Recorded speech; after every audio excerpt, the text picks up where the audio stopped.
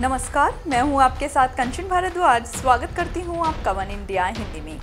आज चुनावी सफ़र के इस बुलेटिन में बात होगी तमिलनाडु की अराकोनम लोकसभा सीट की, जहाँ से एआईएडीएम के सांसद, जी हरी सांसद हैं। इन्होंने साल 2014 के चुनाव में इस सीट पर डीएम के प्रत्याशी एन आर इलांगो को दो लाख चालीस हज़ार सात सौ छियासठ वोटों से हराया था। जी हरी को यहाँ चार लाख तिरानवे हज़ार पाँच सौ चौंतीस वोट मिले थे तो वहीं एनआर को मात्र दो लाख।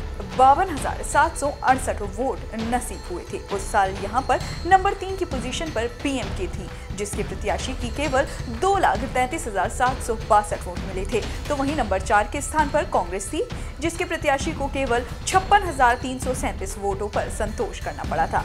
अराकोनम तमिलनाडु का रेलवे टाउन है। ये वेलोर ज़िले से करीब 60 किलोमीटर की दूरी पर स्थित है। ये राज्य के गर्म स्थानों में से एक है। इसका प्राचीन नाम अरुथानमेज कुंदरम था, जो कि हेक्सागन छह भुजाओं का संकेत देता था, जिसके हिसाब से इस स्थान के छह भागों में महत्वपूर्ण स्थान है। बहुत सारी धार्मिक, सांस्कृतिक और ऐतिहासिक विरासतों को खुद में समेटे अराकोनम की जनसंख्या अठारह लाख नवासी हज़ार एक सौ उनतीस है, जिसमें से 60 प्रतिशत आबादी गाँव में रहती है और उनतालीस प्रतिशत लोग शहरों में निवास करते हैं। यहाँ पर 22 प्रतिशत लोग एस वर्ग के हैं तो एक प्रतिशत एस वर्ग के हैं।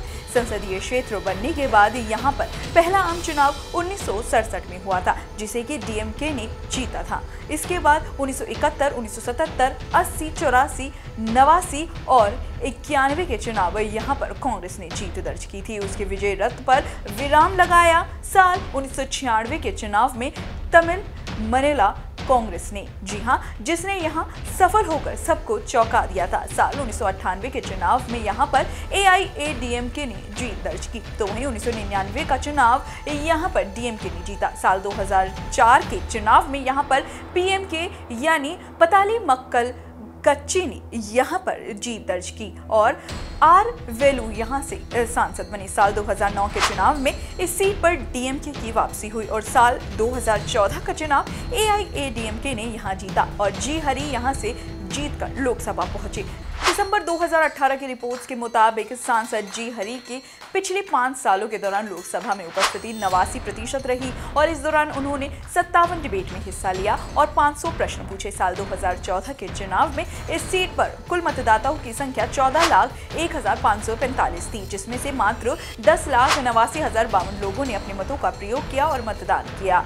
जिसमें पुरुषों की संख्या पाँच लाख तिरालीस हज़ार पाँच सौ छियालीस और महिलाओं की संख्या पाँच लाख पैंतालीस हज़ार पाँच सौ छह थी। आंकड़ों से साफ़ है कि इस सीट पर शुरू से ही बहुत सारी पार्टियों का कब्जा रहा है। लेकिन मुख्य मुकाबला डीएमके और एआई एडीएमके के बीच ही है। इसीलिए इस बार भी इस सीट पर इन्हीं दोनों के बीच मुख्य मुकाबला होगा, ऐसी उम्मीद की जा सकती है। साल 2014 के चुनाव से अब के सियासी समीकरण में काफ़ी परिवर्तन हुआ है। साल 2014 के चुनाव में एआईएडीएमके ने इस सीट पर जीत दर्ज करके सफलता का नया परचम लहराया था। यही नहीं, तब मुख्यमंत्री जयललिता के नेतृत्व में एआईएडीएमके ने लोकसभा चुनावों में पूरे राज्य में काफ़ी अच्छा प्रदर्शन किया था। लेकिन जयललिता के निधन के बाद एआईएडीएमके में काफ़ी बिखराव हो गया है। फूट की शिकार हुई एआईएडीएमके को काफ़ी संघर्ष का सामना करना पड़ रहा है। ऐसे में इस सीट को अपने पास बचाकर रखने में उसे काफ़ी मशक्कत करनी पड़ सकती है। तो वहीं विरोधियों की भी पूरी कोशिश इस सीट को वापस अपनी झोली में डालने की होगी। देखते हैं शहमात के इस खेल में जीत का सहरा किसके सर पर सजदा है। आज के सफ़र में बस इतना ही। जल्द हाजिर होंगे नई संसदीय सीट के इतिहास भूगोल के साथ। नमस्कार।